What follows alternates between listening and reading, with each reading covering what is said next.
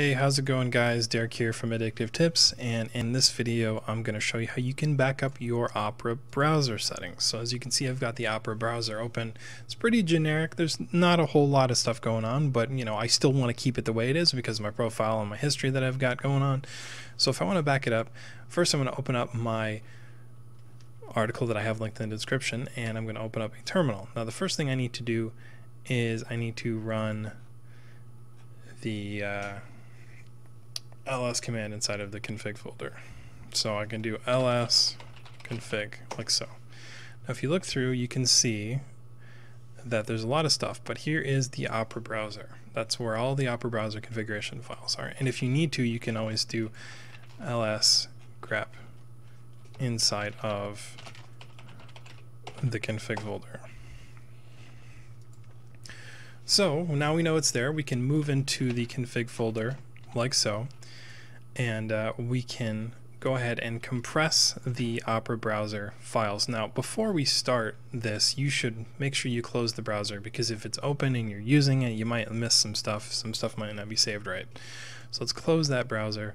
Then we can simply copy this command here, and now this will create our backup. And now we're going to see if I run an ls command here, we'll be able to, let's see, grep tar gz just to make it easier to find. We can see our backup is right here. Now from here, if we want to, we can move the backup to the home folder. And I can open up my home folder right here, and we can see this is our Opera browser backup right here. Now from here, you can take this, you know, I can put this in my Dropbox folder and sync it with the internet, but the problem is is that if I open this, you know, anyone has access to my browser configuration settings, has access to my shortcuts and my history and my logins and everything. So that's not good. If you're only uh, saving this on like an external hard drive or something, you probably don't need to encrypt it, but I would highly recommend doing it anyways. So to encrypt it, you need to make sure you have GPG installed. GPG, you can tell it's installed by just running the GPG help command. If it's installed, it will tell you it's it's there and all the information on what you can do with it.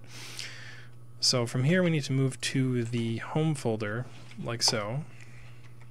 And then we need to compress with GPG, you know, we need to encrypt it, our backup like so. Now once you type in that command, it's going to come up with a pop-up window. You can enter a secure password and uh, enter it twice now it's going to encrypt. Now if we go back to the home directory in my file manager, we can see there's the encrypted folder and here is the unencrypted folder. And if I try and open this, it's not going to do anything.